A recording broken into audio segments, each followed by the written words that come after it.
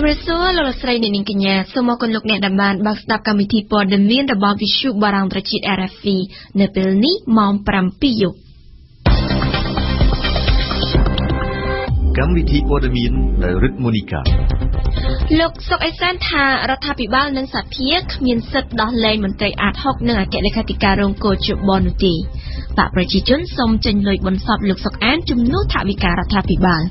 តំណាងរាជគណៈបកប្រឆាំងនឹងទៅគោរពវិញ្ញាខណ្ឌសពលោកសុកអានជាលើកចុងក្រោយ បង្ហាញពីគុណធម៌ជាខ្មែរ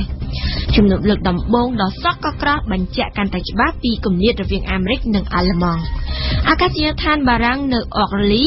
បិទក្រោយមានការផ្ទុះអាវុធរដ្ឋមន្ត្រីការបរទេសអាមេរិកទៅដល់ចិននិយាយរឿងកូរ៉េខាងជើង RFI រដ្ឋាភិបាលនិងសភាគ្មានសិទ្ធិដោះលែងមន្ត្រីអាត60និងអគ្គលេខាធិការរងកោចបននេះទេនេះគឺជាការឆ្លើយតបរបស់លោកសុកអេសានអ្នកនាំពាក្យគណៈបកកណ្ដាលអំណាចបន្ទាប់ពីលោកសុនឆៃមន្ត្រីជាន់ខ្ពស់បកប្រឆាំងបានស្នើឲ្យរដ្ឋាភិបាលពិចារណាដោះលែងមន្ត្រីសិទ្ធិមនុស្សអាត60និងអគ្គលេខាធិការរងកោចប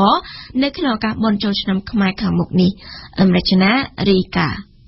អ្នកនាំពាក្យគណៈបកប្រជាជនកម្ពុជាលោកសុកអេសានអះអាងថាសំណុំរឿងមន្ត្រីសិទ្ធិមនុស្សអាត60ទាំង4រូបនិងអគ្គលេខាធិការរងកោជបឥឡូវនេះស្ថិតនៅក្នុងដែនសមត្ថកិច្ចរបស់តុលាការរដ្ឋាភិបាលក៏ដោយឬសូម្បីតែរដ្ឋសភាក៏ដោយក៏គ្មានសិទ្ធិលូកដៃចូលក្នុងសំណុំរឿងនេះដែរកុំថាឡើយដល់ស្នើឲ្យមានការដោះលែងនេះបើតាមលោកសុកអេសាន ដែលបានគូសបញ្ជាក់បន្ទាប់ពីលោកសុនឆៃមន្ត្រីជាន់ខ្ពស់គណៈបកប្រឆាំងបានស្នើឲ្យរដ្ឋាភិបាលពិចារណាដោះលែងមន្ត្រីសិទ្ធិមនុស្សអាត60និងអគ្គលេខាធិការរងកោជបនៅក្នុងឱកាសបុណ្យចូលឆ្នាំខ្មែរខាងមុខសម្រាប់អ្នកនាំពាក្យគណៈបកកាន់អំណាចប្រសិនបើចង់ឲ្យមន្ត្រីសិទ្ធិមនុស្សនិងអគ្គលេខាធិការរងកោជបដែលជាប់ចោតក្នុងសំណុំរឿងសុកបានសាក់សីបាននៅក្រៅឃុំគេត្រូវរកមេធាវីពូកែពូកែទៅតតាំងតាមផ្លូវច្បាប់នៅតុលាការព្រោះមានតែតុលាការទេទើបមានសិទ្ធិសម្រេចសេចក្តីលើសំណុំរឿងនេះបានសូមជម្រាបជូនថារហូតមកទល់ពេលនេះមន្ត្រីសិទ្ធិមនុស្សអាត60ចំនួន4រូបនិងអគ្គលេខាធិការរងកោជបមួយរូបបានជាប់ឃុំអស់រយៈពេលជាង10ខែមកហើយក្រុមមេធាវីការពីក្តីបានរក្សាការព្យាយាមរបស់ខ្លួនក្នុងការដាក់ពាក្យស្នើសុំទៅកាន់តុលាការធ្វើយ៉ាងណាឲ្យកូនក្តីទាំង5រូបបានរស់នៅក្រៅឃុំបើទោះបីជាទទួលបរាជ័យចំនួន6លើកជាបន្តបន្ទាប់មកហើយក្តីកាលពីថ្ងៃអង្គារទី14ខែមិនិនាកន្លងទៅនេះក្រុមមេធាវីទើបតែបានដាក់ពាក្យបណ្ដឹងសារទុកម្ដងទៀតទៅកាន់តុលាការកំពូល ដើម្បីសូមឲ្យមន្ត្រីអាត60និងមន្ត្រីកោជបស្ថិតនៅក្រៅឃុំជាបណ្ដោះអាសន្នក៏ប៉ុន្តែតុលាការនៅមិនទាន់សម្រេចបើកសវនាការលើបណ្ដឹងនេះនៅពេលណានៅឡើយទេគូរំលឹកជូនថាមន្ត្រីការពារសិទ្ធិមនុស្សទាំង4រូបរួមមានលោកនីសុខា លោកយីសុកសាន លោកណៃវងដានិងលោកស្រីលឹមមុនីត្រូវបានតុលាការក្រុងភ្នំពេញចាប់ប្រកាន់ពីបទសុកប៉ាន់សាក់សីក្នុងសំណុំរឿងអាស្រូវស្នេហារវាងលោកកឹមសុខានិងនាងស្រីមុំរីឯលោកនីចរិយាដែលជាអគ្គលេខាធិការរងកោជបវិញត្រូវបានតុលាការចាប់ប្រកាន់ពីបទសំគំនិតសុប៉ាន់សាក់សីក្នុងសំណុំរឿងដូចគ្នាបច្ចុប្បន្នករណីរបស់ពួកគេទាំង5រូបកំពុងស្ថិតនៅក្នុងដែនសមត្ថកិច្ចរបស់ចៅក្រមស៊ើបសួរនៃសាលាដំបងរាជធានីភ្នំពេញ គណៈបកប្រជាជនកម្ពុជាស្វាគមន៍ចំពោះគម្រោងរបស់គណៈបកសង្គ្រោះជាតិដែលមិនដាក់ពាក្យស្លោកដូមេឃុំបំរើបកដាក់មេឃុំបំរើរានៅក្នុងគោលនយោបាយសម្រាប់ការឃោសនាបោះឆ្នោតឃុំសង្កាត់នៅខែមិថុនាខាងមុខជាការស្វាគមន៍បន្ទាប់ពីគណៈបកកណ្ដាលអំណាចបានសម្ដែងការមិនពេញចិត្តនិងមានគម្រោងប្តឹងគណៈបកប្រឆាំងជំវិញការប្រើប្រាស់ពាក្យស្លោកនេះសៀងភិរៈរាយការណ៍ លោកសុកអេសានអ្នកនាំពាក្យគណៈបកប្រជាជនកម្ពុជាបានបញ្ជាក់ប្រាប់វិទ្យុបារាំងអន្តរជាតិនៅថ្ងៃទី18ខែមីនាថាគណៈបកកណ្ដាលអំណាចស្វាគមន៍ចំពោះការដកពាក្យស្លោកនេះលោកបញ្ជាក់ថាប្រសិនបើគណៈបកប្រឆាំងមានចេតនាដកខ្លឹមសារពាក្យស្លោកនេះចេញគឺជាការល្អហើយលោកក៏សូមឲ្យគណៈបកនេះអនុវត្តជាក់ស្ដែងពលគឺដកពាក្យស្លោកនេះចេញពីគោលនយោបាយ5ចំណុចដែលសមាជវិសាមញ្ញរបស់គណៈបកប្រឆាំងបានដាក់នាពេលកន្លងមកអ្នកនាំពាក្យគណៈបកកណ្ដាលអំណាចរូបនេះបន្ថែមថាថានៅពេលដែលគណៈបកប្រឆាំងបានសម្រេចដកជាផ្លូវការហើយប៉ុន្តែបើសកម្មជនឬអ្នកគាំទ្រគណៈបកប្រឆាំងនៅតែប្រើពាក្យនេះទៀតនោះគឺជាការទទួលខុសត្រូវរបស់បុគ្គលដែលជាអ្នកប្រព្រឹត្ត លោកសុនឆៃមន្ត្រីជាន់ខ្ពស់គណៈបកសង្គ្រោះជាតិកាលពីថ្ងៃទី17ខែមីនាក្រោយពេលទៅជួបសួរសុខទុក្ខសកម្មជននិងមន្ត្រីជាន់ខ្ពស់គណៈបកប្រឆាំងដែលកំពុងជាប់ឃុំនៅពន្ធនាគារព្រៃសរបានប្រាប់ឲ្យដឹងថាគណៈបកនឹងរៀបចំគោលនយោបាយ5ចំណុចសម្រាប់ចែកចាយទៅប្រជាពលរដ្ឋដោយមិនមានពាក្យស្លោកខាងលើនេះទេប៉ុន្តែលោកបានបញ្ជាក់ថាពាក្យស្លោកមិនមែនជាពាក្យផ្លូវការដែលធ្វើឲ្យមានការពិបាកក្នុងការដោះស្រាយនោះទេលោកថាបើតុលាការឬស្ថាប័នមានសមត្ថកិច្ចយល់ថាពាក្យស្លោកដូរមេឃុំបម្រើបកដាក់មេឃុំបម្រើរាជធ្វើឲ្យប៉ះពាល់នោះគណៈបកប្រឆាំងនឹងសម្រេចទៅតាមស្ថាប័នទាំងនោះ លោកសុនឆៃមិនអាចតាក់ទងសុំការបំភ្លឺបន្ថែមបានទេនៅថ្ងៃទី18ខែមីនានេះប៉ុន្តែលោកអេងឆៃអៀងអនុប្រធានគណៈបកសង្គ្រោះជាតិបានបញ្ជាក់ថាបច្ចុប្បន្ននេះគណៈបកផ្សព្វផ្សាយនិងបង្រៀនតែគោលនយោបាយអតិភិបសម្រាប់សកម្មជនរបស់ខ្លួនតែប៉ុណ្ណោះមិនបានផ្សព្វផ្សាយឬបង្រៀនពាក្យស្លោកខាងលើនេះទេសូមជម្រាបជូនថាពាក្យស្លោកដូរមេឃុំបម្រើបកដាក់មេឃុំបម្រើរាជរបស់គណៈបកសង្គ្រោះជាតិត្រូវបានគណៈបកផ្សព្វផ្សាយកាលពីដើមខែមិនិនាកន្លងទៅការនេះបានធ្វើឲ្យគណៈបកប្រជាជនកម្ពុជាយល់ឃើញថាជាការប្រមាថដល់បេក្ខជនឃុំនៃគណៈបករបស់ខ្លួន ហើយគណៈបកកណ្ដាលអំណាចក៏ធ្លាប់មានគម្រោងប្តឹងគណៈបកប្រឆាំងដែរ។ យោងតាមលិខិតមួយច្បាប់របស់គណៈបកប្រជាជនកម្ពុជាដែលផ្សព្វផ្សាយដោយសារព័ត៌មានក្នុងស្រុកស្និទ្ធនឹងរដ្ឋាភិបាលបានឲ្យដឹងថាលោកសាយឈុំអនុប្រធានគណៈបកប្រជាជនកម្ពុជានារសៀលថ្ងៃទី18ខែមីនានេះបានសរសេរលិខិតទៅកាន់លោកនាយរដ្ឋមន្ត្រីហ៊ុនសែនដែលស្នើសុំបង្វែរលុយរៀបចំបុណ្យសពលោកសុកអានចូលទៅក្នុងថវិការដ្ឋវិញហើយការចំណាយទាំងអស់ជំនួសវិញដោយថវិការបស់គណៈបកប្រជាជនកម្ពុជាសូមបញ្ជាក់ថារដ្ឋាភិបាលគ្រោងចំណាយប្រាក់ប្រមាណ3000លានរៀលឬស្មើនឹង75ម៉ឺនដុល្លារអាមេរិកដើម្បីរៀបចំបុណ្យសពលោកសុកអានដែលជាមន្ត្រីជាន់ខ្ពស់នៅក្នុងជួររដ្ឋាភិបាល។ ក្រុមអ្នកតំណាងរាជគណៈបក្សសង្គ្រោះជាតិដឹកនាំដោយលោកប៉ុលហំអនុប្រធានគណៈបក្សសង្គ្រោះជាតិនឹងទៅគោរពវិញ្ញាខណ្ឌសពលោកសុកអានឧបនាយរដ្ឋមន្ត្រីរដ្ឋមន្ត្រីទីស្តីការគណៈរដ្ឋមន្ត្រីនាវេលាម៉ោង7ព្រឹកថ្ងៃទី19ខែមីនាស្អែកនេះសពលោកសុកអានដែលនឹងត្រូវបូជានៅមុខវត្តបទុមវតីនៅក្នុងក្រុងភ្នំពេញស្អែកនេះបន្ទាប់ពីដំកល់ទុកធ្វើបុណ្យតាំងពីថ្ងៃទី15ខែមីនាមកលោកប៉ុលហំអនុប្រធានគណៈបក្សសង្គ្រោះជាតិបានប្រាប់វិទ្យុបារាំងត្រជាតិ RFI ថាទោះបីជាគណៈបក្សសង្គ្រោះជាតិនិងគណៈបកប្រជាជនកម្ពុជា មានទស្សនៈនយោបាយខុសគ្នាក្តីប៉ុន្តែការគោរពសពជាលើកចុងក្រោយ គឺជាការបង្ហាញនូវគុណធម៌នៅក្នុងនាមជាខ្មែរដូចគ្នាទោះបីជាយ៉ាងនេះក្តីលោកកឹមសុខាដែលជាប្រធានគណៈបកនឹងមិនបានចូលរួមនោះទេដោយសារតែលោកកំពុងតែស្ថិតនៅក្រៅប្រទេសសូមអញ្ជើញស្ដាប់ប្រសាសន៍របស់លោកប៉ុលហំក្នុងនេះថាធ្លាប់ធ្វើការជាមួយគ្នាបាទ ដូច្នេះវាទំនៀមទម្លាប់ខ្មែរយើងទៅចូលរួមបុណ្យសពនឹងជារឿងធម្មតានេះបាទទោះជាយើងនៅក្នុងគណៈបកផ្សេងគ្នាមានធ្លាប់មានគំនិតមានទស្សនៈខុសគ្នាខ្លះខ្លះក្នុងការរៀបចំសុខទេមានវិធីខុសគ្នាក៏ដោយក៏មានជំនុំខ្មែរដូចគ្នាហើយ ដែលទៅនឹងទៀតគឺនៅក្នុងស្ថាប័នរដ្ឋាភិបាលជាមួយដូចគ្នានឹងបាទទួលមកពីគណៈបកខុសគ្នាទៅដល់តាមជំនាញថាដូចជាមានការមួយបង្កែមិនទៅមិនទៅដោយរឿងនយោបាយអត់មានទេគឺយើងបើបានទៅដោយសារគាត់ជាប់នៅកាយប្រទេសឬនៅខេត្តអីចឹងមិនមិនទាន់បាទបើដូចខ្ញុំខ្ញុំសម្រាប់តែទៅពីព្រោះខ្ញុំមើលឃើញតែនេះជាថ្ងៃចុងក្រោយ របស់គាត់ហើយបនបានថ្ងៃនេះជាប់មូលហេតុបានទៅចូលរួមនៅថ្ងៃចុងក្រោយហើយយើងសុខចិត្តលុបចោលកម្មវិធីចំណុចខេត្តដើម្បីទៅចូលរួមជាការសម្ដែងការចូលរួមមរណទុកជាមួយនឹង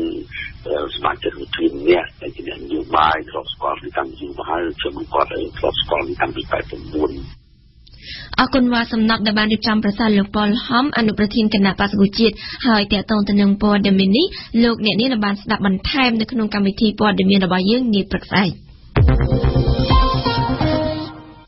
ង្គភាពជនរងគ្រោះនៃសាលាក្រីខ្មែរក្រហមដែលចូលរួមដែលអង្គការសហប្រជាជាតិបានរៀបចំគម្រោងការសម្រាប់ផ្ដល់សំណងដល់ជនរងគ្រោះនៅក្នុងសំណុំរឿង002វគ្គ2នៅមុនពេលដែលជនជាប់ចាប់ដែលជាអតីតមេដឹកនាំជាន់ខ្ពស់ខ្មែរក្រហម2នាក់ត្រូវផ្ដន្ទាទោសសូមជម្រាបជូនថាសាលាក្រីខ្មែរក្រហមដែលចូលរួមឲ្យដឹងពីគម្រោងការផ្ដល់សំណងដល់ជនរងគ្រោះដោយសាររបស់ខ្មែរក្រហមប្រសិនបើជនជាប់ចោត2នាក់ជាអតីតមេដឹកនាំខ្មែរក្រហមជាន់ខ្ពស់ដែលកំពុងតែរស់រានមានជីវិតត្រូវបានកាត់ទោសនៅពាក់កណ្ដាលឆ្នាំនេះពីបទពាក់ព័ន្ធនឹងការកាប់សម្លាប់ពលរដ្ឋខ្មែរជា1លាន7សែននាក់នៅក្នុងទសវត្សរ៍ឆ្នាំ1970 ដែលឡែកតាមគម្រោងនៃចុងខែមីនានេះរដ្ឋាភិបាលនឹងបញ្ជាឲ្យក្រុមហ៊ុនទូរស័ព្ទទាំងអស់នៅកម្ពុជាផ្ដាច់សំឡេង roll call tune ស្ដីពីគ្រឹះស្ថានមីក្រូហិរញ្ញវត្ថុទាំងអស់នៅកម្ពុជា ជារបស់ឯកជនមិនមែនជារបស់រដ្ឋគម្រោងនេះធ្វើឡើងបន្ទាប់ពីរដ្ឋាភិបាលទទួលស្គាល់ថាពលរដ្ឋកម្ពុជាស្ទើរតែ100%ហើយដែលបានដឹងថាគ្រឹះស្ថានមីក្រូហិរញ្ញវត្ថុគឺជារបស់ឯកជនតាមរយៈសំឡេង roll call tune នេះនិយាយមួយបែបទៀតរដ្ឋាភិបាលក៏ទទួលស្គាល់អំពីការធន់ទ្រាន់របស់ពលរដ្ឋជុំវិញសម្លេងរោខលធូននេះដែរអេងគឹមហុងរីកា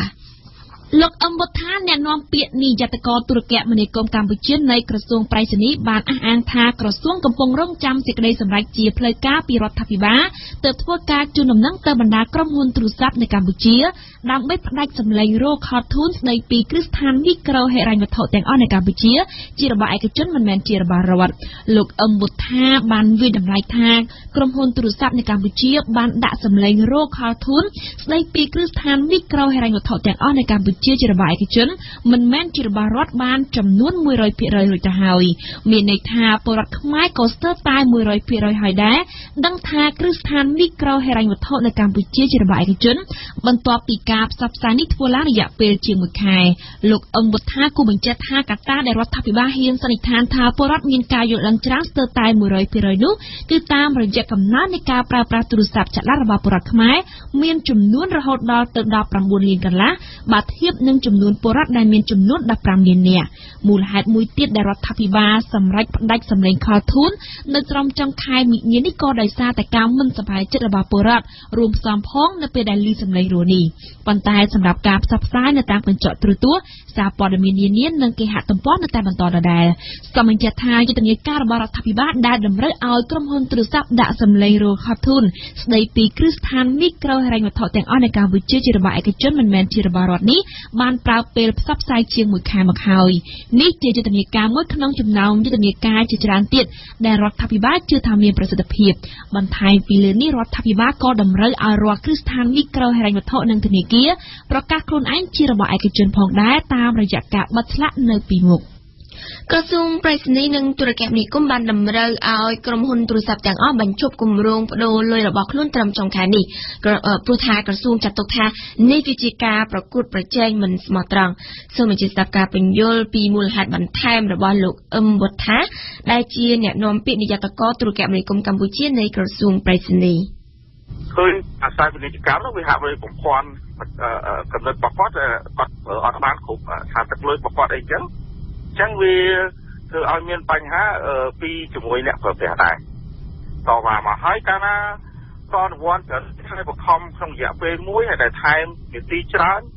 ហើយមានសុពលភាពរយៈពេលមួយខ្លីអញ្ចឹងគឺការដែលអ្នកប្រើប្រាស់ធ្វើឲ្យអ្នកប្រើប្រាស់នាំគ្នាប្រើព្រោះនៅឃើញថា free ច្រើនអញ្ចឹងប្រើធ្វើឲ្យទាន់ថ្ងៃដែលមានសុពលភាពក្នុងការប្រើប្រាស់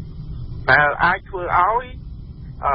អឺបណ្ដាញហ្នឹងវាទៅជាស្ទះចរាចរណ៍នៅពេលដែលអ្នកប្រើប្រាស់ច្រើនធ្វើឲ្យគុណភាពសេវាវាវាវាវាប៉ះពាល់អញ្ចឹងដល់ហើយ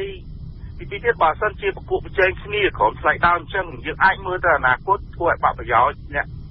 ផ្ដល់សេវាផងនិងអឺចំពោះគុណរបស់រដ្ឋផងក្នុងការពាក់ព័ន្ធនឹងចំណូលអស់ហ្នឹងអញ្ចឹងគឺ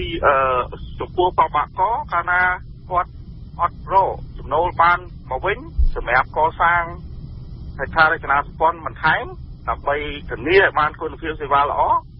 ដើម្បីពង្រីកវិសាលភាពទៅដល់ទីជនបទព្រោះឥឡូវយើងមានគម្រាមនៅឡើយចំពោះ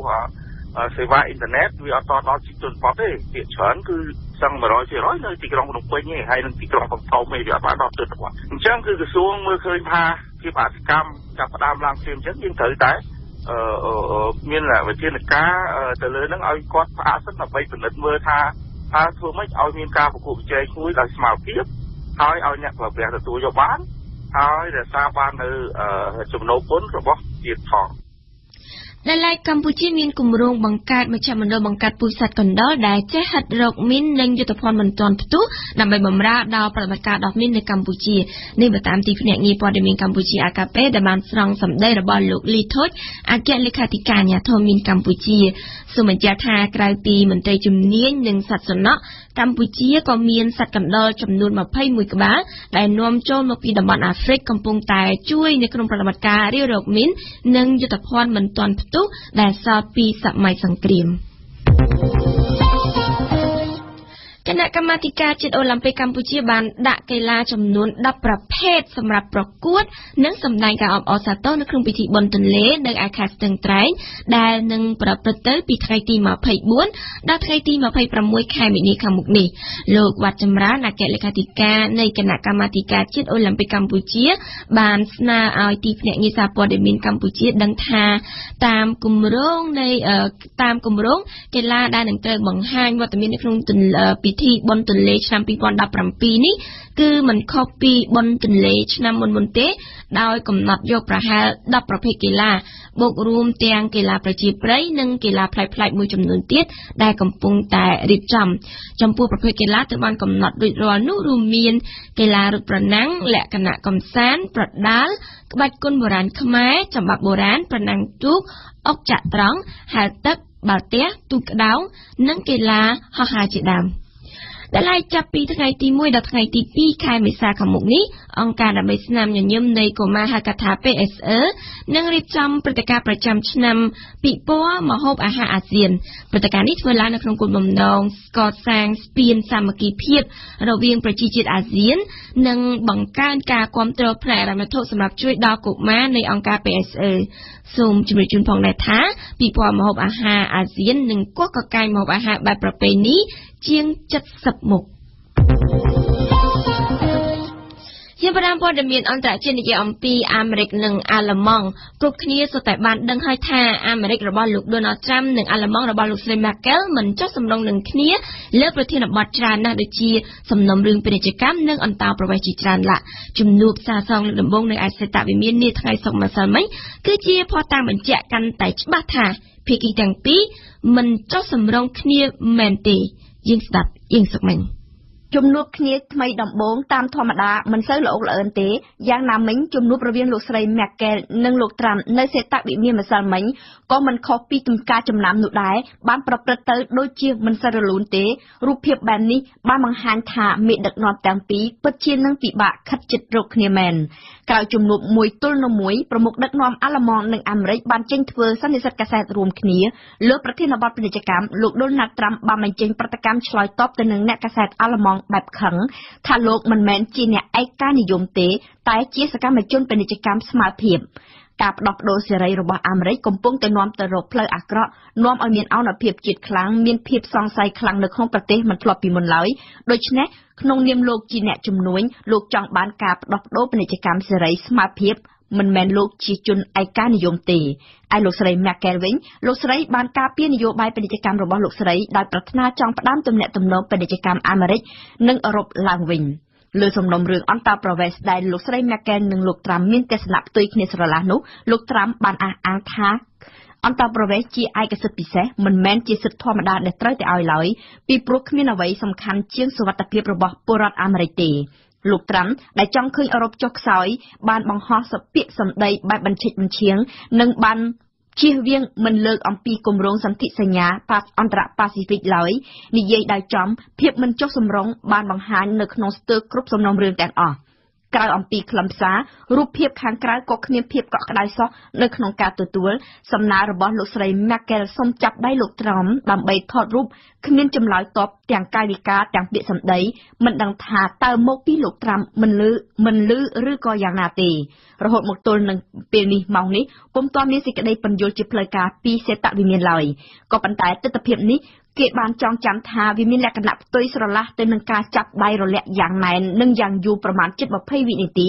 រវាងលោកស្រីនាយករដ្ឋមន្ត្រីអាល្លឺម៉ង់និងលោកត្រាំនៅក្នុងជំនួបលើកដំបូងដែលកាលពីដើមខែកុម្ភៈនិងពី3ថ្ងៃក្រោយមកទៀតលោកត្រាំបានចាប់ដៃយ៉ាងស្អិតទទួលស្វាគមន៍លោក Shinzo Abe នៅក្នុងកន្លែងតែមួយដដែលនេះ។ ក្រៅពេលដែលកូរ៉េខាងជើងបានធ្វើការសាកល្បងអាវុធមីស៊ីល ballistic ជាបន្តបន្ទាប់ប្រទេសក្បែរខាងក៏ដូចជាសហរដ្ឋអាមេរិកមានការព្រួយបារម្ភកាន់តែខ្លាំងហើយបានរិះរកវិធីទប់ទល់ជាមួយនឹងរបបផ្ដាច់ការកូរ៉េខាងជើងរដ្ឋាភិបាលអាមេរិកបានដាក់ឲ្យដំណើរការប្រព័ន្ធការពារគ្រាប់មីស៊ីលនៅលើទឹកដីកូរ៉េខាងត្បូងដែលទង្វើនេះត្រូវបានរដ្ឋាភិបាលចិនប្រឆាំងដាច់អហង្ការ បន្ទាប់ពីបានអញ្ជើញទៅប្រទេសជប៉ុននិងកូរ៉េខាងត្បូងលោក Rex Tillerson រដ្ឋមន្ត្រីការបរទេសអាមេរិកទើបបានទៅដល់ទីក្រុងប៉េកាំងនាព្រឹកថ្ងៃសៅរ៍ទី18ខែមីនានេះដើម្បីពិភាក្សាជាមួយថ្នាក់ដឹកនាំចិនស្ដីអំពីដំណោះស្រាយលើសំណុំរឿងកូរ៉េខាងជើងបន្តិចនេះយើងនឹងវិលមកលំអិតជំវិញព័ត៌មាននេះនៅក្នុងនីតិប្រកាសអន្តរជាតិប្រចាំថ្ងៃរបស់យើងដែលយើងនឹងមានបទអន្តរាគមពីមុំពិសី កងកម្លាំងសន្តិសុខបារាំងបានបាញ់សម្លាប់ជនម្នាក់បន្ទាប់ពីជននេះបានស្ទុះទៅឆក់លួចកាំភ្លើងពីដៃទាហានដែលកំពុងតែដើរល្បាតនៅក្នុងក្របខ័ណ្ឌប្រយុទ្ធប្រឆាំងនឹងអំពើភេរវនិយមនៅក្នុងអាកាសយានដ្ឋានអុករលីក្រុងប៉ារីនាព្រឹកថ្ងៃសៅរ៍ទី18មីនានេះជាសំណាងល្អគ្មានមនុស្សណាម្នាក់ត្រូវរងគ្រោះ តែចរាចរណ៍ហោះហើរនៅប្រលានទៅបិទទាំងស្រុងនៅពេលនេះដំណើរណាជាងអ្នកដំណើរជាង3000នាក់គឺត្រូវជំលះតើវាជាទង្វើភារកម្មឬក៏យ៉ាងណាអៀងសុកមិញជូនព័ត៌មានពិស្ដាអ្នកនាំពាក្យក្រសួងមហាផ្ទៃបារាំងបានត្រឹមតែប្រកាសថានៅវេលាម៉ោង8កន្លះព្រឹកថ្ងៃសៅរ៍នេះបរិសម្នាក់បានឆក់កំភ្លើងពីទាហានកំពុងដើរល្បាត រួចរត់ទម្លាក់ខ្លួននៅក្នុងហាងទំនិញមួយដែលមានចាប់មនុស្សជាចំណាប់ស្នូតពីរនាក់ផងមុននឹងត្រូវបានភ្នាក់ងារសន្តិសុខបាញ់សម្លាប់ទាន់បើតាមប៉ូលីសជននេះមានជាប់ឈ្មោះនៅក្នុងបញ្ជីខ្មៅរបស់ភ្នាក់ងារស៊ើបការសម្ងាត់បារាំងថាជាជនជ្រុលនិយមតាំងតែពីឆ្នាំ2015មកហើយមានអាយុ39ឆ្នាំនិងមានសញ្ជាតិជាតិបារាំង ហេតុការណ៍នេះមានទំនាក់ទំនងជាមួយនឹងឧបតហេតុបាញ់ប៉ូលីសមួយឲ្យរបួសមួយទៀតនៅចម្ងាយប្រមាណជា40គីឡូម៉ែត្រពីគ្នានិងខុសត្រូវគ្នាប្រមាណជា1ម៉ោងតែប៉ុណ្ណោះនេះដែលបើតាមប្រភពដដែលដែលអាចសង្ស័យថាគឺជាមនុស្សតែមួយពេលនេះចរាចរណ៍ផ្លូវអាកាសមកកាន់នឹងចេញពីប្រលាន អុកលីត្រូវផ្អាកទាំងស្រុងមានប្រតិបត្តិការស្វែងរកចាប់ជាតិផ្ទុះក្រែងខ្មាន់កំភ្លើងមានពាក់ខ្សែក្រវ៉ាត់ផ្ទុះទៀតប៉ូលីសជាច្រើនអ្នកត្រូវបានបញ្ជូនមកជាជំនួយសុវត្ថិភាពមនុស្សជិត3000នាក់ត្រូវបានជំនះចេញពីអាកាសយានដ្ឋានសូមបញ្ជាក់ថាតាំងពីមានផ្ទុះពេរវកម្មខែមករាឆ្នាំ2015មកបារាំងបានចាត់វិធានការពង្រាយទាហានដើរល្បាតពេញផ្ទៃខេត្តក្រុង ជាពិសេសនៅតាមតំបន់ទេសចរចំណុចប្រជុំជនសាលារៀនអគាររដ្ឋបាលលក្ខណៈល ក្ខក៏ប៉ុន្តែជាញឹកញយទាហានល្បាតទាំងនោះបានคล้ายជាទិសដៅនៃការវាយប្រហារវិញកាលពីដើមខែកុម្ភៈថ្មីថ្មីនេះជនអេស៊ីបម្នាក់បានជិះយន្តហោះពីអេមីរ៉ាអារ៉ាប់រួមមកវាយប្រហារលើទាហានបារាំងដោយប្រើកាំបិតចាក់ រងគ្រោះភារវកម្មជាបន្តបន្ទាប់ប្រធានាធិបតីបារាំងបានសម្រេចចិត្តដាក់ប្រទេសនៅក្នុងភាពអាសន្ននិងពន្យារហូតដល់ថ្ងៃទី15កក្កដាឆ្នាំ2017ក្រោមការរិះគន់យ៉ាងខ្លាំងកាលពីថ្ងៃប្រហោះម្សិលមិញក្រោយពីមានការផ្ទុះកញ្ចប់បញ្ញើមានផ្ទុកជាតិផ្ទុះតាមប្រៃសណីមកឲ្យអង្គការមូលនិធិរូបិយវត្ថុនៅទីក្រុងប៉ារីមកលោកប្រធានាធិបតីបារាំងបានបញ្ជាក់ថាហេតុការណ៍នេះបញ្ជាក់ថាការគំរាមកំហែងនៅតែធ្ងន់ធ្ងរបារាំងត្រូវតែបន្តរក្សាប្រទេសក្នុងភាពអាសន្នសិន។ វិ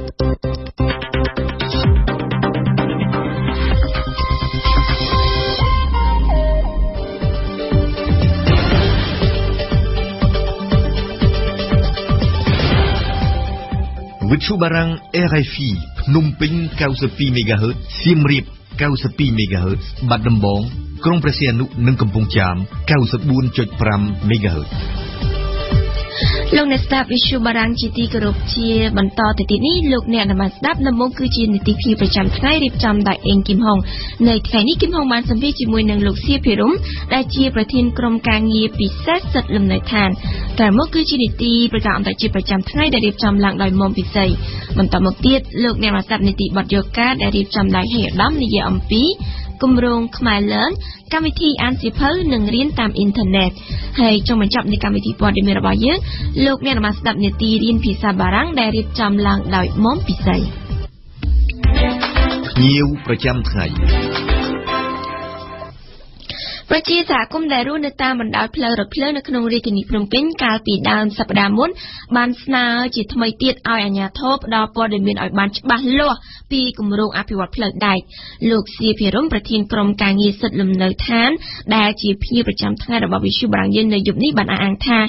ភាពមិនច្បាស់លាស់នៃការផ្ដល់ព័ត៌មានស្ដីអំពីការអភិវឌ្ឍផ្លូវដែក ទើបធ្វើឲ្យពលរដ្ឋចុះផ្លូវតវ៉ាមិនឈប់តទៅនេះគឺជាកិច្ចសម្ភាររវាងអេងគឹមហុងនិងលោកសៀភិរម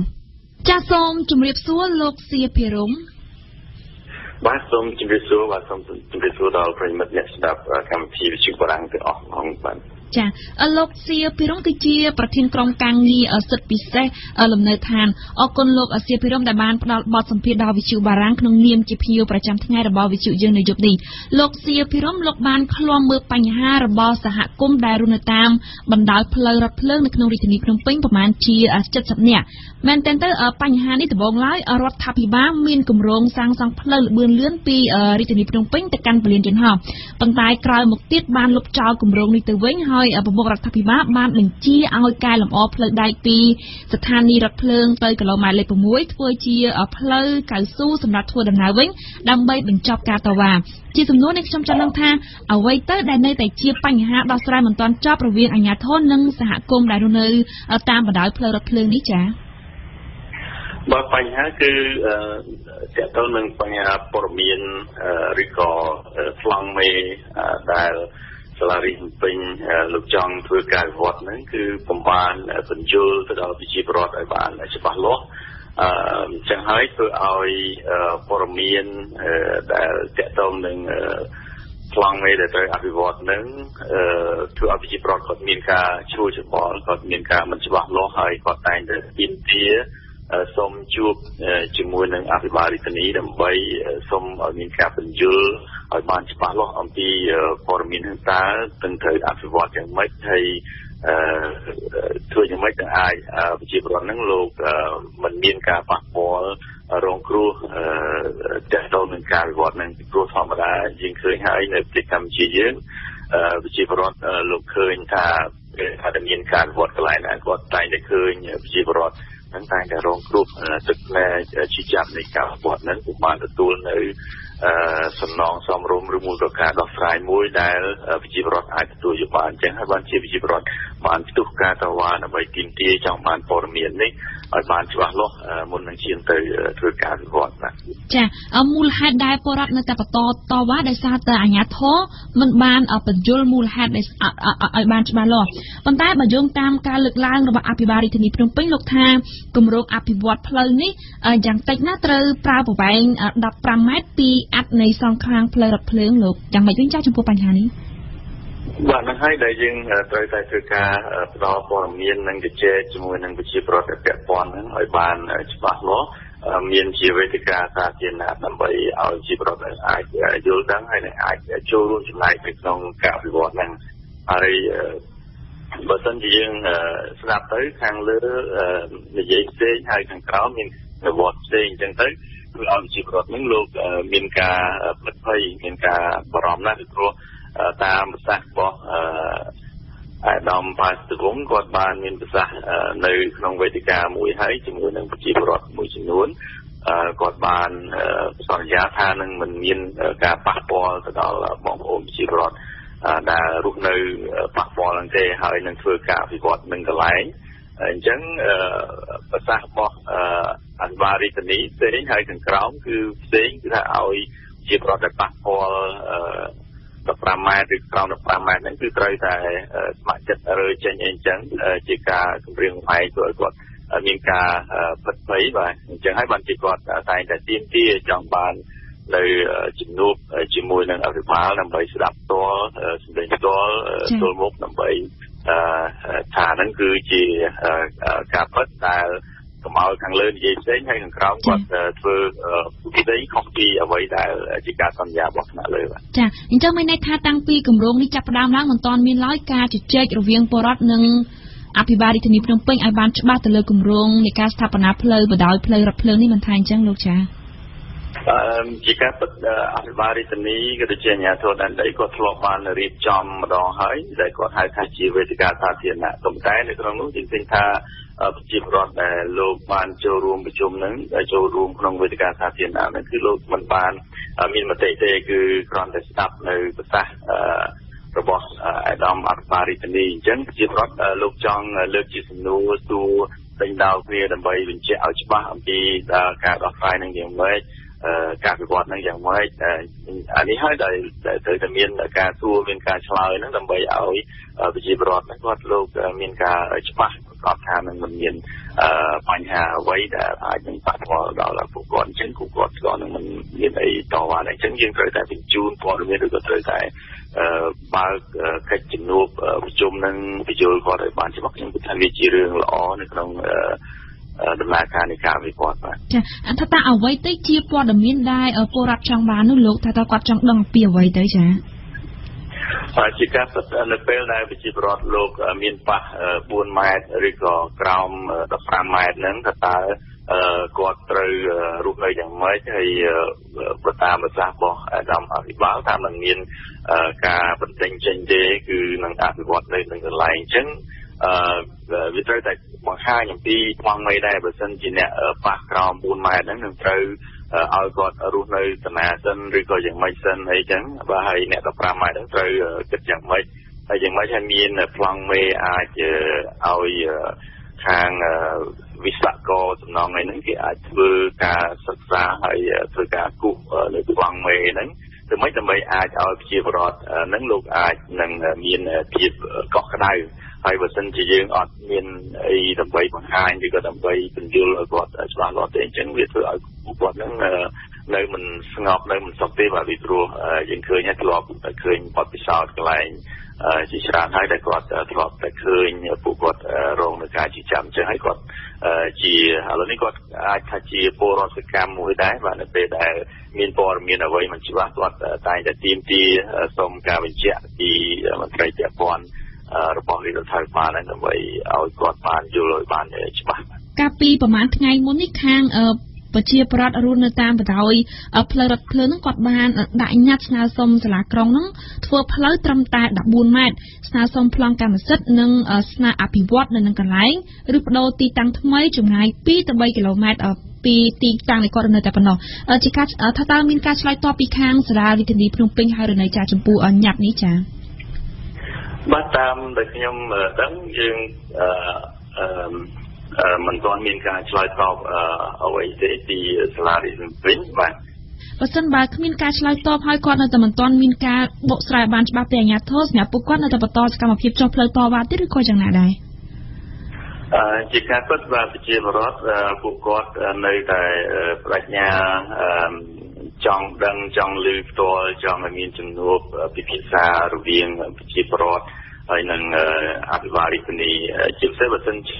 ទៅជាប្រវត្តិទាំងអស់នឹងមិនអាចនឹងជួបបានទេអាចជួបមានតំណាងតាមសហគមន៍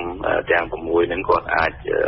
ជួបជាមួយនឹងអភិបាលខ្ញុំគិតថាជាមធ្យោបាយល្អដែល មានគ្នាតិចអាចបញ្ជូលបានច្បាស់ហើយឲ្យតំណាងហ្នឹងគាត់អាចចុះទៅបញ្ជូលទៅដល់ប្រជាពលរដ្ឋវិញដើម្បីឲ្យកុំឲ្យពួកគាត់មានការភ័យខ្លាចដើម្បីដោះស្រាយភាពរំជើបរំជួលឬក៏ដើម្បីកុំឲ្យជំរុញឲ្យមានការដើរតវ៉ាតាមសាធារណៈអីផ្សេងៗដែលជាការរំខានសម្រាប់ធ្នាប់សាធារណៈអីហ្នឹងបាទបើតាមភាសារបស់លោកសៀភិរមស្ដាប់មើលទៅបញ្ហារបស់ពលរដ្ឋនិងអាជ្ញាធរគឺសំខាន់បំផុត ពាក់ព័ន្ធទៅនឹងប្រវែងដីឯងហើយចុះចំពោះពាក់ព័ន្ធទៅនឹងការដូចជាសំណងថវិកាឯងមានជាប់ពាក់ព័ន្ធជាមួយគ្នាដែរទេឬក៏ចំណុចដែរទេចា៎បាទមកដល់ពេលហ្នឹងគឺតកតងនឹងពីព្រោះពួកគាត់ភាគច្រើនគឺគាត់ចង់បានការគាត់នៅនឹងកន្លែងហើយបើសិនជានៅនឹងកន្លែងហ្នឹងទំហំដីมันអាចទេគឺថាគួរតែ អាចរកទីតាំងណាដែលចិត្តនឹងតាមអ្វីដែលពួកគាត់ទាមទារចង់បានហ្នឹងអាចត្រឹម2គីឡូឬក៏អីទៅជាង5គីឡូម៉ែត្រពីទីតាំងចាស់របស់គាត់ហ្នឹងដែលគាត់អាចនឹងនៅចិត្តមុខរបរនៅចិត្តសាលារៀនកូនរបស់គាត់ហើយនឹងនៅចិត្តកន្លែងការងាររបស់គាត់ហើយបើសិនជា រើឲ្យពួកគាត់ទៅឆ្ងាយនោះខ្ញុំយល់ឃើញថាពួកគាត់មិនមិនពេញចិត្តនឹងគោលនយោបាយនៃការដោះស្រាយបែបនោះទេលោកសៀភិរមផ្ទាល់យល់ឃើញយ៉ាងដូចម្តេចដែរចំពោះការស្ថាបនាផ្លូវនេះចា៎បាទពួកគាត់ឃើញថាគាត់មានការផិតភ័យមានការជួលច្បល់អឺគូសំដែរដែលគាត់តែងតែទាមទារចង់ឲ្យមានការបកស្រាយឲ្យបានច្បាស់លាស់ពីព្រោះពីមុនមានប្រសាសន៍របស់ ដោយនាយករដ្ឋមន្ត្រីបានប្រកាសផ្សេងហើយក្រោយមកក៏មានការប្រកាសបន្តពីអភិបាលរាជធានីហើយអ្នកខាងក្រោម បង្កប់បញ្ជាឲ្យវិជាប្រវត្តិនឹងផ្សេងពីអ្វីដែលថ្នាក់លើកម្ពុជាកម្ពុជាមានប្រសាសន៍នោះអញ្ចឹងនេះគឺជាអ្វីដែលជាក្តីបារម្ភរបស់ពួកគាត់ដែលពួកគាត់ចង់ឲ្យមានការបំភ្លឺព័ត៌មានឲ្យបានច្បាស់លាស់បាទដោយសារតអស់ពេលទៅហើយនាងខ្ញុំសូមបញ្ចប់កិច្ចសម្ភាសជាមួយលោកសៀភិរមតែត្រឹមប៉ុណ្ណេះនាងខ្ញុំក៏សូមបញ្ជាក់ឡើងវិញផងដែរថាលោកសៀភិរមគឺជា ប្រធានក្រុមការងារពិសេសសិទ្ធិលំនៅឋានបាទសូមអរគុណបាទសូមជម្រាបលាណា កម្មវិធីនេះសហការឧបត្ថម្ភដោយឱសថគីណាល់គីណាល់មួយសម្រាប់ការឈឺចុកចាប់មួយគីណាល់កូឌីអ៊ីនសម្រាប់ព្យាបាលការឈឺចុកចាប់ខ្លាំងដូចជាឈឺក្បាលខ្លាំងឈឺធ្មេញខ្លាំងផាកាហ្វេជាភោជនីយដ្ឋានបម្រើអាហារគ្មានជាតិប៊ីចេងដំបូងគេបង្អស់នៅកម្ពុជានិងជាទីកន្លែងបង្កើនមិត្តភាពសហគ្រិនភាពដៃគូពាណិជ្ជកម្មរបស់លោកអ្នកពីរ៉ាមីតជាទីភ្នាក់ងារបកប្រែនាំមុខគេស៊ីនវិញយូជាក្រុមហ៊ុនតែមួយគត់ដែលបង្ហាញពីភាពខុសគ្នារវាងកាហ្វេគីមីនិងកាហ្វេធម្មជាតិសាកលវិទ្យាល័យឯកទេសនៅកម្ពុជា CUS សិក្សាដើម្បីគុណភាព សិក្សាដើម្បីសមត្ថភាពវិជ្ជាជីវៈសិក្សានៅ CUS សហគមន៍សរីរាង្គខ្មែរលក់បន្លែផ្លែឈើស្រស់ៗដែលគ្មានជាតិគីមីពុលតាក់ទងទូរស័ព្ទលេខ077 299 953និង012 310 234ព្រឹត្តិការណ៍អន្តរជាតិប្រចាំថ្ងៃ នៅក្នុងនីតិប្រកាសអន្តរជាតិប្រចាំថ្ងៃរបស់វិទ្យុបារាំងអន្តរជាតិអារ៉ាហ្វីនាល្ងាចថ្ងៃសៅរ៍ទី18ខែមីនានេះយើងសូមតាមដានអំពីដំណើរទៅទីក្រុងប៉េកាំងរបស់លោករដ្ឋមន្ត្រីក្រសួងការបរទេសអាមេរិកដើម្បីពិភាក្សាជាមួយនឹងថ្នាក់ដឹកនាំចិនស្ដីអំពីសំណុំរឿងកូរ៉េខាងជើងដែលកាន់តែធ្វើឲ្យមានការព្រួយបារម្ភហើយមកពិសេសសូមចូលខ្លួនមកលំអិតជំវិញព្រឹត្តិការណ៍នេះសួស្ដីពិសេសបាទសួស្តីម៉ូនីកាពិសេសនៅថ្ងៃស្អែកនេះលោក Rex Tillerson រដ្ឋមន្ត្រីក្រសួងការបរទេសអាមេរិកទើបបានទៅដល់ទីក្រុងប៉េកាំងបើតាមការរំពឹងទុកសំណុំរឿងកូរ៉េខាងជើងគឺជាកម្មវត្ថុចម្បងនៃការជួបវិសាររវាងថ្នាក់ដឹកនាំចិននិងអាមេរិកមិនថាអញ្ចឹងពិសេសបាទមិនខុសទេម៉ូនីកាកូរ៉េខាងជើងគឺជាសំណុំរឿងក្តៅគគុកតែម្ដងដែលញ៉ាំងឲ្យលោក Rex Tillerson រដ្ឋមន្ត្រីការបរទេសអាមេរិកត្រូវធ្វើដំណើរទៅកាន់ទីក្រុងប៉េកាំងនៅថ្ងៃនេះមុននឹងមកដល់ទីក្រុងប៉េកាំងលោក Rex Tillerson បានអញ្ជើញទៅកូរ៉េខាងត្បូងនិងជប៉ុនរួចហើយដើម្បីសៀបផ្សុំពីគោលជំហររបស់ប្រទេសទាំងពីរនេះកាលពីពេលទៅដល់កូរ៉េខាងត្បូងម្សិលមិញលោករដ្ឋមន្ត្រីក្រសួងការបរទេសអាមេរិករូបនេះបានថ្លែងថាបើសិនជាកូរ៉េខាងជើងនៅតែក្អេងក្អាងកំញាញប្រទេសជិតខាងនិងសហរដ្ឋអាមេរិកនោះគេនឹងពិចារណាអំពីលទ្ធភាពក្នុងការប្រើកម្លាំងតបវិញលោករដ្ឋមន្ត្រីអាមេរិកបានទាមទារឲ្យខាងចិនចូលរួមសហការជាមួយខ្លួនដើម្បីដាក់ទណ្ឌកម្មធ្វើឲ្យរបបព្យុងយ៉ាងនឹងខ្លោបខ្លាចតែបញ្ហាគឺនៅត្រង់ថាចិនប្រឆាំងដាច់ខាតនឹងការដែលអាមេរិកបានដាក់តាំងប្រព័ន្ធខែលបំផ្លាញមីស៊ីលនៅលើទឹកដីកូរ៉េខាងត្បូងបែរទៅមុខរកកូរ៉េខាងជើងនិងប្រទេសខ្លួនការនេះបានធ្វើឲ្យចិនច្រឡោតខឹងយ៉ាងខ្លាំងព្រោះសម្រាប់ចិនប្រព័ន្ធរ៉ាដានេះអាចប៉ះពាល់ទៅដល់សមត្ថភាពការពារខ្លួនរបស់ចិនពូលគឺវាអាចទៅចាប់យកទិន្នន័យនានាឬក៏បំផ្លាញទិន្នន័យទាំងនោះរបស់មូលដ្ឋានកងទ័ពចិនដែលនៅមិនឆ្ងាយពីទីនោះម៉ូនីកាតែចំណែកខាងអាមេរិកនិងកូរ៉េខាងត្បូងវិញគេបានអះអាងថាប្រព័ន្ធខែលបំផ្លាញមីស៊ីននេះគឺមានទូនីតិគ្រាន់ការពារខ្លួនមិនបានធ្វើអ្វីដោយដែលខាងចិនព្រួយបារម្ភនោះទេ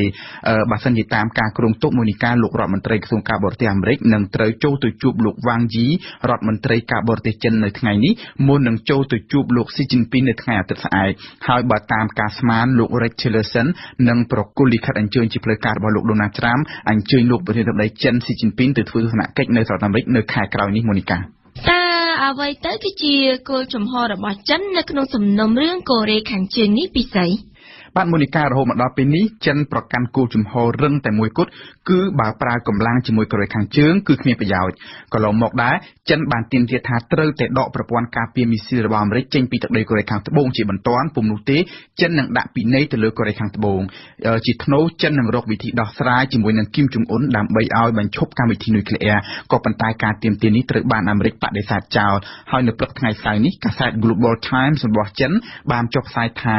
វាគឺជាអត្ថប្រយោជន៍របស់ចិនដែលត្រូវបញ្ឈប់មហិច្ឆតានុយក្លេអ៊ែររបស់កូរ៉េខាងជើងក៏ប៉ុន្តែបើសិនជាធ្វើវាដោយការដាក់កូរ៉េខាងជើងឲ្យឯកោនោះគឺវាជារឿងគ្មានប្រយោជន៍ទេហើយក៏មិនអាចធ្វើទៅបានដែរម៉ូនីកាក្នុងន័យនេះសារព័ត៌មានចិននេះបានចង់សម្ដៅថាបើប្រើកម្លាំងទៅលើកូរ៉េខាងជើងមិនមែនជាជំរឿនល្អហើយបើសិនជារឹតបន្ថែមដាក់ទណ្ឌកម្មក៏មិនមានប្រយោជន៍ដែរអ្វីដែលកាសែតនេះចង់ឆ្លុះបញ្ចាំងគឺគោលជំហររបស់ចិននៅតែដដែលគឺថាចង់បើកឲ្យមានការចរចាដោយសន្តិវិធីផ្ដល់ផលប្រយោជន៍ខ្លះទៅឲ្យកូរ៉េខាងជើងដើម្បីឲ្យប្រប្រទេសនេះបញ្ឈប់ឬក៏កាត់បន្ថយកម្មវិធីនុយក្លេអ៊ែរកាសែតនេះបានលើកឡើងជាសំអាងថាមើលតែកន្លងមកចុះតើសហគមន៍អន្តរជាតិបានដាក់ទណ្ឌកម្មសេដ្ឋកិច្ចប្រមាណដងទៅលើកូរ៉េខាងជើងហើយសួរថាតើវាបានហុចផលអ្វីខ្លះមកដល់ថ្ងៃនេះដោយឡែកលោកដូណាល់ត្រាំទើបបានសរសេរសារនៅលើទំព័រ Twitter ថាកូរ៉េខាងជើងធ្វើកាន់តែផ្ដេសផ្ដាសទៅហើយហើយចំណែកចិនវិញក៏គ្មានបានធ្វើអីដើម្បីជួយបង្ក្រាបកូរ៉េខាងជើងទៀតជាការពិតគ្រប់គ្នាទទួលស្គាល់ថាទណ្ឌកម្មសេដ្ឋកិច្ចកន្លងមកមិនបានផលប្រយោជន៍មែនតែកុំភ្លេចថាមួយភាគធំនៃការទទួលខុសត្រូវនៃបរាជ័យនេះគឺចិនព្រោះថាចិនបានធ្វេចភ្នែកមិនព្រមអនុវត្តទណ្ឌកម្មទេកន្លងមកគឺមានតែធនាគារឬក៏ក្រុមហ៊ុនចិនទេដែលលួចរកស៊ីខុបខិតជាមួយនឹងកូរ៉េខាងជើងម៉ូនីកាតើបើតាមមើលទៅពេលនេះលោករដ្ឋមន្ត្រីការបរទេសអាមេរិកអាចនឹងអូសទាញចិនឲ្យតាមខ្លួនឬមួយក៏ចិនទៅវិញទេដែលនឹងអូសទាញឲ្យអាមេរិកនេះទទួលយកយុទ្ធសាស្ត្រខ្លួនពិសេស បានមូនិកាបើយោងតាមការផ្ដល់ព័ត៌មានជាបឋមស្ដីពីជំនួបរវាងរដ្ឋមន្ត្រីក្រសួងការបរទេសទាំងពីរនៅថ្ងៃនេះយើងសង្កេតឃើញថាអាមេរិកហាក់ដូចជាបន្ទន់កំហឹងព្រមទទួលយកសំណើរបស់ចិនលោកវ៉ាងយីរដ្ឋមន្ត្រីក្រសួងការបរទេសចិនទើបបានប្រកាសអំបញ្ញមិញនេះថាជំរឿសមានតែពីរទេទី1គឺប្រើកម្លាំងដាក់កូរ៉េខាងជើង កំញើញទៅវិញទៅមកធ្វើឲ្យស្ថានភាពកាន់តែដុនដាបคล้ายជាសង្គ្រាមហើយជំរឿទី2គឺរៀបចំការចរចាដោយសន្តិវិធីជាមួយនឹងកូរ៉េខាងជើងសួរថាមួយណាល្អជាង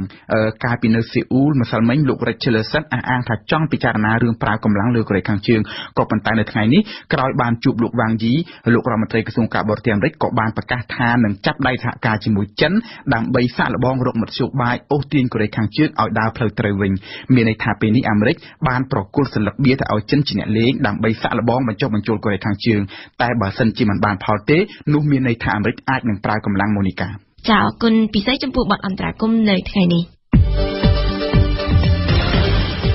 ស្ដាប់វិទ្យុបារាំង RFE ពិភពលោកស្ថិតនៅក្នុងដៃរបស់លោកអ្នក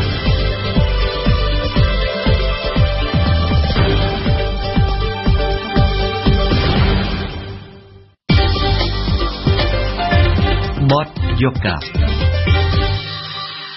A-Action គឺជាអង្គការធ្វើការផ្នែកអប់រំដែលកំពុងតែធ្វើសកម្មភាពជាច្រើនគម្រោងនៅកម្ពុជា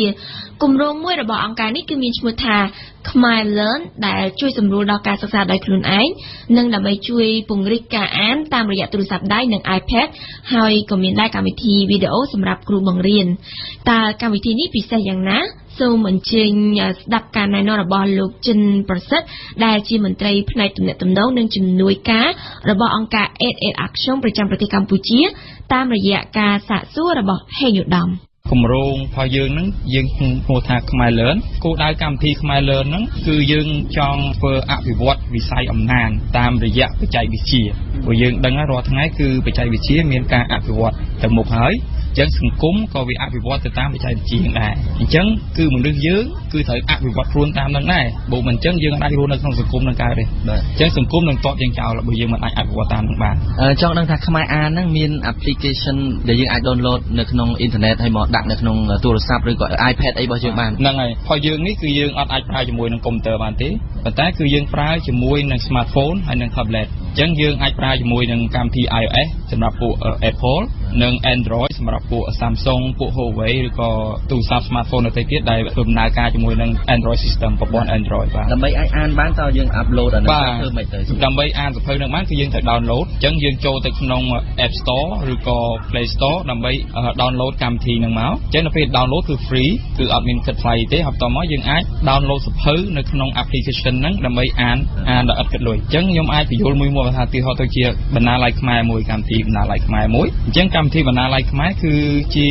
បណ្ណាល័យយើងដឹងបណ្ណាល័យគឺជាកន្លែងអានសភៅអញ្ចឹងអានេះគឺយើងអាចអានសភៅដោយអត់គិតលុយហេតុអីបានយើងបង្កើតបណ្ណាល័យខ្មែរហ្នឹងមកព្រោះយើងដឹងហើយថាពីមុនបើយើងចង់អានសភៅឯមួយយើងពិបាករស់ចឹងតែយើងសើចអ៊ីនធឺណិតទៅទៅកន្លែងនោះទៅមាន2 3សភៅកន្លែងនោះមាន2 3សភៅកន្លែងនោះមាន4 4 5សភៅអញ្ចឹងយើងចំណាយពេលច្រើនចុះបណ្ណាល័យខ្មែរមានប្រមាណសភៅឥឡូវយើងមាន1000សភៅសភៅគឺយើងមានសភៅដែលយើងផលិតខ្លួនយើងសភៅដែលយើងទិញសិទ្ធិពីអ្នកនិពន្ធនៅក្នុងខ្មែរយើងនិងសភៅមួយទៀតគឺយើង copy link ពីអ្នកដទៃទៀតដាក់ប្រមូលផ្ដុំនៅក្នុងនោះគោលដៅរបស់យើងគឺថាបណ្ដុំសភៅទាំងបណ្ដុំសភៅនៅនឹងទាំងអស់អញ្ចឹងយើងលែងចំណាយពេលវេលាច្រើនដើម្បីទៅរកសភៅហើយចំណាយពេលវេលាតិចហើយបានសភៅល្អល្អទៀតបាទចុះផ្នែកផ្សេងផ្សេងទៀតបងបាទអញ្ចឹងយើងមានខ្មែរអ្នកអប់រំកម្មវិធីខ្មែរនៅអប់រំគឺយើងសង្កត់ធ្ងន់ទៅលើការបណ្ដុះបណ្ដាលគ្រូបាទខ្មែរអប់រំព្រោះអ្នកអប់រំគឺគ្រូខ្ញុំឮថាមានវីដេអូអីសម្រាប់ណែនាំទៅដល់គ្រូបង្រៀនថ្នាក់បឋមដែរមិនចឹងណាបាទអឺយើងរាល់ថ្ងៃយើងធ្វើការងារជាមួយគ្រូ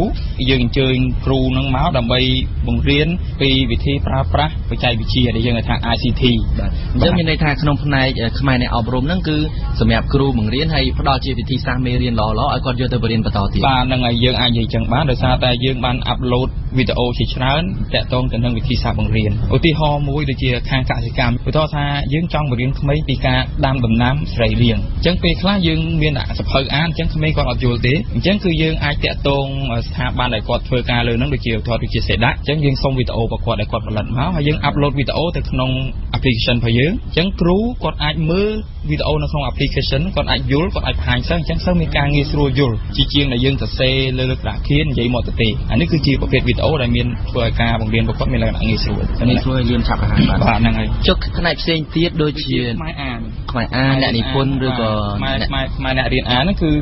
យើងមានបង្កើត application ដើម្បីឲ្យក្មេងទូចទូចៗរៀនអានប្រកបអក្សរចាប់ពីកស្អាកាកស្អីគេអញ្ចឹងព្រោះពេលខ្លះនៅតាមជាមាននជាសំឡេងទៀតបាទបាទខ្ញុំអាចស្ដាប់បានទេបងបាទបាទអឺបាទឧទាហរណ៍ជាកម្មវិធីខ្មែររៀនអានមួយមួយបាទបាទអានេះវាចូលដល់អូមា នកខអីបាទចឹងទៅនេះគឺវាយើងរៀននឹងប្រកបនឹងជញ្ជនៈហើយបាទអាវគ្គទី1យើងជញ្ជនៈជាមួយនឹងសាកអានេះជញ្ជនៈជាមួយនឹងជញ្ជនៈបាទអញ្ចឹងគឺវាអឺអឺកម្មវិធីនេះគឺអាចអានឲ្យក្មេងស្ដាប់បានបាទកបាទកចឹងមកបាទកស្អុកកុកនឹងកកុកទៅយ៉ាងមក បាទ OK អញ្ចឹងនៅពេលដែលអានចប់ហ្នឹងគឺយើងមានធ្វើជាជាតេស្តមានលំហាត់បាទលំហាត់លំហាត់ដើម្បីឲ្យក្មេងហ្នឹងគាត់រៀនថាតើគាត់អាចរើសថាឥឡូវសំឡេងសាកអញ្ចឹងគាត់រើសយកមួយណាឧទាហរណ៍អូសាកត្រូវបាទអញ្ចឹងត្រូវវាលោតមកមួយទៀត OK បាទអញ្ចឹងបើយើងខុសខុសវាអត់ឲ្យទេបាទខុសវាអត់ឲ្យទេអញ្ចឹងបើយើងត្រូវវាឲ្យអញ្ចឹងនៅពេលដែលយើងធ្វើត្រូវទាំងអស់ បានកុមារហ្នឹងមានសិទ្ធិឆ្លងទៅវគ្គបន្តទៀតដូចជាលបែងហ្គេមតាមអ៊ីនធឺណិតតាមបណ្ដាញសង្គមអីជាដើមប៉ុន្តែអានេះលេងដែរប៉ុន្តែមានប្រយោជន៍សម្រាប់ការចេះដឹងរបស់គាត់បាទដើម្បីអភិវឌ្ឍការអាននិងការប្រកបអក្សររបស់ក្មេងអញ្ចឹងណាបាទមានផ្នែកផ្សេងទៀតទេបងយើងមានផ្នែកផ្សេងទៀតដែលខ្ញុំនិយាយថាខ្មែរអ្នកនិពន្ធប៉ុន្តែយើងអត់ទាន់បានដំឡើងចប់សាច់បាច់ទេប្រហែលជាអាចក្នុងមួយខែឬក៏ពីរខែក្រោយអញ្ចឹងខ្មែរអ្នកនិពន្ធហ្នឹងគឺយើងធ្វើការជាមួយនឹងអ្នកនិពន្ធ នៅពេលដែលយើងនិយាយពាក្យអ្នកនិពន្ធមួយម៉ាត់ភាគច្រើនយើងគិតទៅលើអ្នកនិពន្ធដែលគាត់មានស្នាដៃដែលគាត់ធ្លាប់ទទួលបានរង្វាន់ហើយប៉ុន្តែនៅនេះយើងអត់គិតតែផ្នែកខាងហ្នឹងទេយើងគិតថាអ្នកទាំងអស់គ្នាទាំងយើងទាំងអ្នកដទៃអាចមានសិទ្ធិជាអ្នកនិពន្ធគ្រាន់តែស្នាដៃរបស់យើងវាមិនសូវទូលំទូលាយដោយអ្នកនិពន្ធដែលគាត់បានទទួលស្នាដៃអញ្ចឹងឧទាហរណ៍ថាដូចជាយើងចង់សរសេរសៀវភៅមួយថាយើងទៅតំបន់ណាមួយទៅតំបន់ទេសចរណាមួយឧទាហរណ៍តែយើងទៅសេរីបាទយើងទៅសេរាប់ពីហ្នឹងហើយយើងថតរូបថតរូបអឺតាក់ទងទៅជ្រោះឬក៏តាក់ទងទេសភាពហ្នឹងមកហើយយើងផ្ញើមកខាងខ្ញុំហើយខាងខ្ញុំនឹងអាចជួយពិនិត្យត្រួតពិនិត្យអក្ខរាវិរុទ្ធឬក៏អត្ថន័យជួយកែសម្រួលនេះមកហើយបោះបានហើយផ្សាបានយើងយើងអាប់ឡូតទៅក្នុង application របស់យើងដើម្បីឲ្យអ្នកដទៃទៀតអាចអាន free បាទប៉ុន្តែបើគិតថាស្នាដៃរបស់យើងល្អយើងអាចដាក់លក់អញ្ចឹងពួកខ្ញុំគណៈកម្មការខាងខ្ញុំនឹងអាចត្រួតពិនិត្យកែតម្រូវឬក៏កែសម្រួលរូបភាពមិនបានដើម្បីអាចដាក់លក់បានអញ្ចឹងអាតកតងនឹងលក់ហ្នឹងនៅក្នុងខ្មែរ writer ហ្នឹងគឺយើងមានដៃគូជាមួយនឹងអ្នកនិពន្ធដែលគាត់ផលិតបានសភៅនៅក្នុងស្រុកយើងហើយបើគាត់អាចចង់លក់សភៅ គាត់អាចយកសភៅមកឲ្យខាងខ្ញុំដើម្បីឲ្យខាងខ្ញុំហ្នឹងជួយរចនាឲ្យឡើងវិញព្រោះការលក់នៅលើអនឡាញគឺយើងត្រូវការមានចលនាយើងអត់ធ្វើជាសភៅធម្មតាដែលរូបភាពអត់មានកម្រើកទេគឺរូបភាពដែលយើងលក់នេះគឺមានចលនាធ្វើ animation បាទយើងធ្វើ animation ដើម្បីឲ្យមានភាពតាក់ទាញបើអត់មានភាពតាក់ទាញទេក្មេងនឹងអត់ទិញសភៅនោះទេហើយអ្នកនិពន្ធអាចគិតថាបើគាត់នឹងគាត់អាចលក់សិទ្ធឲ្យយើងដាច់ប្រមាណប៉ុន្តែបើគាត់អត់គិតចឹងទេគាត់ថាឥឡូវយកមកដាក់នៅកន្លែងយើងយើងអាចចែកភាគរយគ្នាទៅថាអ្នកនិពន្ធលក់បានប្រមាណភាគរយអង្គការខ្ញុំបានប្រមាណភាគរយយ៉ាងមកប៉ុន្តែអ្វីដែលខាងខ្ញុំបានគឺនឹងជួយយកទៅបដោះបដាអ្នកនិពន្ធចំនួនក្រោយវិញទេយើងអត់យក benefit ហ្នឹងដើម្បីទុកខ្លួនយើងទេព្រោះយើងជាអង្គការបាទបាទជាអង្គការអញ្ចឹងអ្វីដែលយើងបានគឺនឹងជួយបដោះបដាអ្នកនិពន្ធចំនួនក្រោយដើម្បីឲ្យគាត់អាចមានលទ្ធភាពសរសេរស្នាដៃល្អៗបានបងមានការគិតវិជ្ជមានឬក៏មានក្តីសង្ឃឹមយ៉ាងណាដែរចំពោះ application ហ្នឹងតើថ្ងៃក្រោយទៅវាយ៉ាងម៉េចហើយវាអាចបំរើសាធារណជនខ្មែរហ្នឹងកម្រិតណាដែរនិយាយចំ មុននឹងយើងបង្កើត application នេះគឺយើងបានធ្វើការសិក្សាស្រាវជ្រាវច្រើនអញ្ចឹងហើយយើងមានក្តីសង្ឃឹមថាអ្វីដែលយើងធ្វើវានឹងអាចជួយបម្រើទៅដល់វិស័យអំណាននិងវិស័យសរសេររបស់អ្នកនិពន្ធឬក៏ក្មេងៗនៅក្នុងប្រទេសកម្ពុជារបស់យើងព្រោះយើងគិតថាបច្ចេកវិទ្យារាល់ថ្ងៃគាត់រីកចម្រើនទៅមុខអញ្ចឹងប្រជាជនកម្ពុជាយើងនឹងមានលទ្ធភាពប្រើប្រាស់ smartphone ស្ទើរតែគ្រប់គ្នាបើគាត់ប្រើប្រាស់ smartphone គ្រប់គ្នាអញ្ចឹងគាត់នឹងអាច download កម្មវិធីរបស់យើងដើម្បីបម្រើក្នុងការអានជួយដល់ការសរសេររបស់ពួកគាត់ប៉ុន្តែខ្ញុំនៅតែ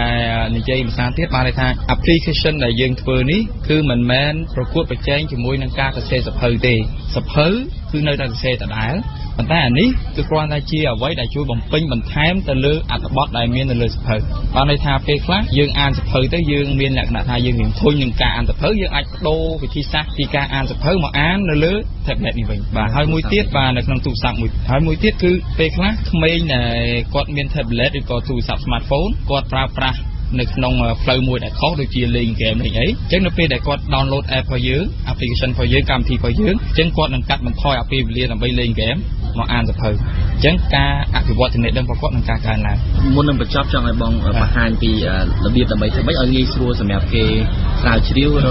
ចូលទៅដល់ application នេះដើម្បីចូលទៅក្នុង application ហ្នឹងបើយើងខ្ញុំនិយាយតាក់ទងទៅនឹង Android អញ្ចឹងយើងចូលទៅក្នុង Play Store បន្ទាប់មកយើងវាយពាក្យ Aid Action A I D E ដក clear E T ដក clear A C T I O N អញ្ចឹងយើងคลิกលើពាក្យ Aid Action ហ្នឹងមកយើងនឹងឃើញកម្មវិធីរបស់យើងមានខ្មែរ Library ខ្មែររៀនអានខ្មែរ Educator ហើយយើង download តាមហ្នឹងមកសម្រាប់ iOS system iOS គឺយើងចូលទៅក្នុង App Store ហើយយើងវាយពាក្យ Aid Action ដូចគ្នាហើយ download មក free ប្រើបានទេបាទបាទយើងអាចប្រើបាន ទីគោរពយើងខ្ញុំសូមថ្លែងអំណរគុណចំពោះភក្ដីភាពរបស់អស់លោកអ្នកនាងដែលបានតាមដានស្ដាប់កម្មវិធីព័ត៌មានរបស់វិទ្យុបារាំងប្រជាតិ RFV កម្មវិធីព័ត៌មានរបស់វិទ្យុបារាំងយើងរយៈពេលពេញ1ម៉ោងបានឈានមកដល់ទីបញ្ចប់ហើយចាប់ពីម៉ោង8យប់នេះតទៅលោកអ្នកបានស្ដាប់កម្មវិធីជាភាសាបារាំងកម្មវិធីជាកាមេរ៉ាភាសារបស់វិទ្យុបារាំងយើងនឹងវិលមកជួបលោកនាងជាបន្តទៀតនៅម៉ោង7ព្រឹកស្អែកដែលកម្មវិធីដំបូងជាកម្មវិធីព័ត៌មានពេញ1ម៉ោងសូមអរគុណស៊ីថាដែលបានបញ្ជាផ្នែកបច្ចេកទេសនៅពេលនេះនាងខ្ញុំរិទ្ធមូនីកានិងសហការីវិទ្យុបារាំងទាំងអស់សូមអរគុណនិងសូមជម្រាប